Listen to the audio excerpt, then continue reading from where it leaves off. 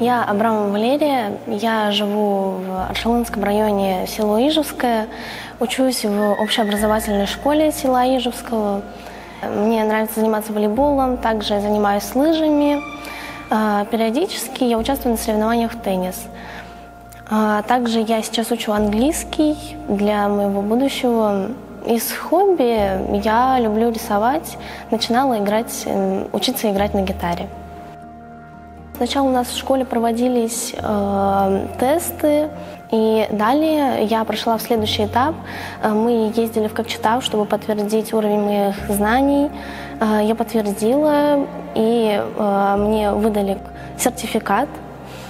Далее меня приглашали в Астану на дальше проходить тесты, на разговор с психологом. Мне предоставилась возможность участвовать в разных проектах. Да, конечно, это достижение в Олимпиадах, это э, честь для школы, честь для меня, что э, я смогла достичь такого уровня. Дальше больше буду развиваться. Я с удовольствием приму участие в этом проекте. Меня зовут Динара, я являюсь координатором Центра диагностики детей и молодежи по образованию являюсь э, педагогом-психологом. А, перед тем, как работать в корпоративном фонде, я работала два года в центре Дарын, это региональный центр в Кустанайской области. И уже два года э, занималась данным проектом э, в регионе.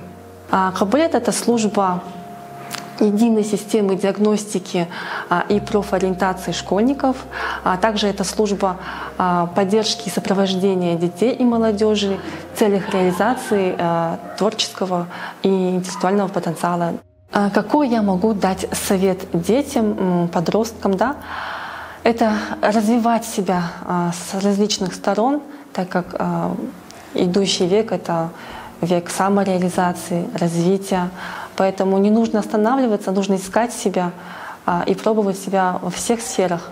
И что зайдет, а, то и использовать в дальнейшем в своей жизни. Также у нас есть такое понятие, как реестр талантов. А, туда дети проходят, если они по всем четырем направлениям в рамках 4К это коммуникация, коллаборация, критическое мышление и креативность, проходит реестр талантов. Я Абрамова Лидия, мама прекрасной дочери своей Валерии. А, 2010 года рождения она, и э, уже в садике первые ее рисунки были настолько эстетичные, настолько тонкие и красивые. Ну, э, с первых дней жизни я ей просто восхищалась. Ну, то есть, э, наверное, как каждая мама бесконечно любит своего ребенка, и я не исключение. Э, попутно развивались э, хобби, навыки. Она рисовала, много лепила. Это была тонкая филигранная работа, очень красивые э, поделки, мы столько всего хранили, и они хранятся до сих пор у нас в коробках на чердаке у родителей. Еще будучи она совсем маленькой, я купила ей э, лыжи, и она начала просто во дворе кататься. Э, будучи в четвертом классе в категории среднего звена она заняла третье место, промчалась как пуля на лыжах.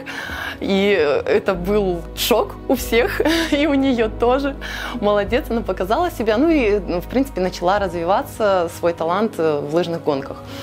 А, чуть позже начала э, увлекаться волейболом и посещает тренировки. За прошлый год они выезжали трижды на международные конкурсы – то есть это проектная деятельность. Они выезжали в Алмату дважды и в Шимкент, где она занимала первые места и даже забрала гран-при. Я благодарна случаю, что все так сложилось, что ребенок а, показал необходимые знания, что ее заметили, да, ее заметили сначала на районном, на областном уровне а, были приглашения, куда мы с благодарностью приехали. Я благодарна, что ребенок участвует в вашем проекте и а, что вы заметили ее, приехали и уделили свое время и внимание.